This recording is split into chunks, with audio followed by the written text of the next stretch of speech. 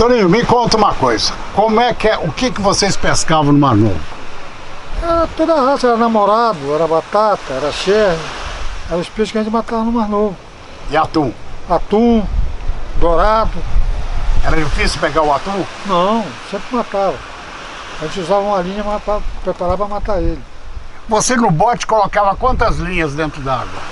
Para pescar namorado e cherry, era duas linhas. Mas ficava sempre duas na, pela popa boiada de cima d'água para cação, para atum. Sempre ficava. Então fica, trabalhava com quatro linhas? É, quatro linhas. Né? Quatro e qual era a profundidade da linha? Ah, lá era muito fundo. Lá era fase de 400 metros de profundidade.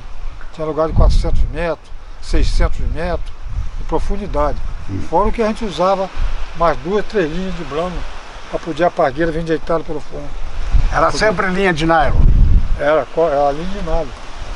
Cabine de nylon fino. Essa linha de nylon fino. Ah. E o... E tubarão? Vocês enfrentaram muito tubarão? Nós matava com, com, com, a corda, com a, a, a, retinida, a gente chama retinida. Que isso? Umas quatro braços de, de, de, de cabo com um anzol grandão assim. Na ponta do cabo com uma alça de arame grande assim. Aí amarrava na polpa, deixava amarrado e ficava trabalhando lá. Daqui a um pouco ele passava a boca, saía, você via, chegava lá, metia a curva matava ele. Às vezes ia embora, às vezes matava. E nunca teve medo de tubarão? Não, medo a gente tinha, mas a gente tinha cuidado, né? A gente tinha cuidado. Queria danar para pular para cima para querer pegar o braço da gente. Aí, ele fazia isso? É, aí já tinha o pau preparado. Quando fazia assim, chegava no bico dele, pô. Dava uma porrada no bico, ele já era ele. Bateu no bico, já era. É igual a gato. Tinha uma bordoada no bico, já era. Aí a gente fazia assim. Tu matou muito tubarão na paulada? Sim, muito tubarão. Então a história do teu cunhado, Nick, é verdadeira? É verdadeira, verdadeira. Eu também devia ter matado muito também. E o tubarão alguma vez levou o teu bote embora? Não. Preso? Não. Ferrava ele, às vezes, a gente ficou a cornudo que ela danava pra a gente ferrar e amarrar e deixar ela, ela levar o bote, podia ela cansar. Porque ela tinha muita força demais. Mas o tubarão não, o tubarão a gente matava na paulada. Tinha que trazer no peito, meter no pau e matar na paulada. É boa a carne do tubarão?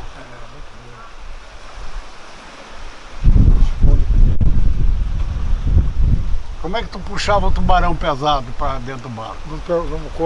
Matava ele, tirava a voz do bote, amarrava ele pelo pescoço, amarrava na ponta, botava o ramo pro alto, o barco vinha, empanhava e embarcava para dentro.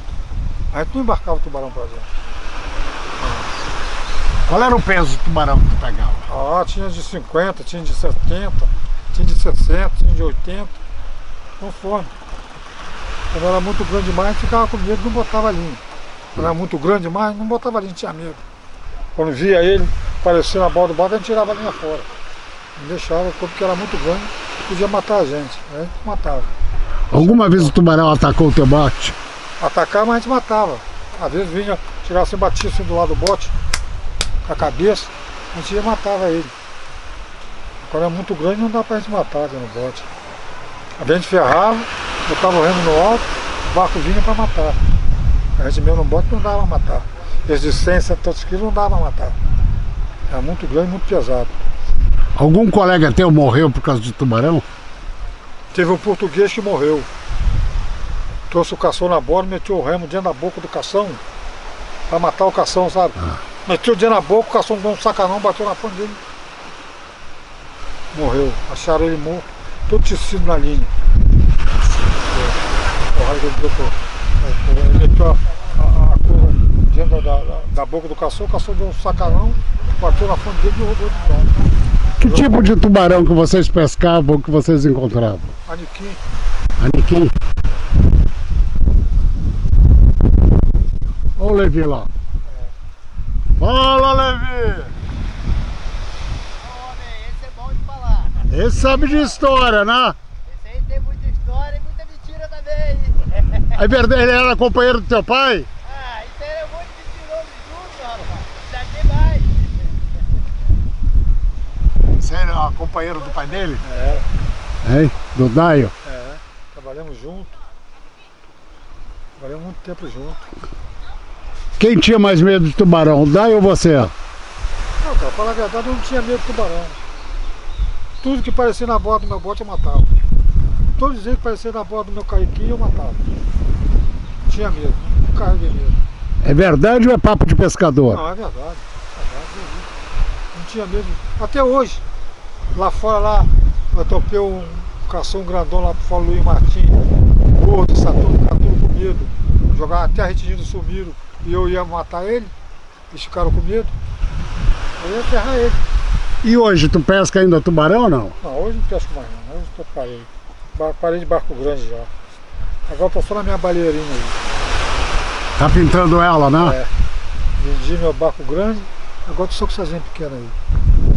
Vendeu o barco grande por quê? Eu não podia trabalhar mais, adoeci. Hein? Adoeci, não pude trabalhar mais. Aí fui obrigado a vender. Não tenho filho homem para trabalhar. Aí vendi. E nem neto. Neto tem um filho, neto grande já homem, mas não, não, não quer saber de mais. Só de estudar. É, não, de trabalhar. Ele não estuda mais não, parou também. Esse eu criei, esse neto que eu tinha lá, que ia, ia ser pescador, depois levei ele lá fora, peguei um temporal lá, e ele desanimou. Esse mora, mora- eu criei ele desde miudinho. Agora tu tem o neto fazendo universidade, né? Eu tenho um. Tenho um.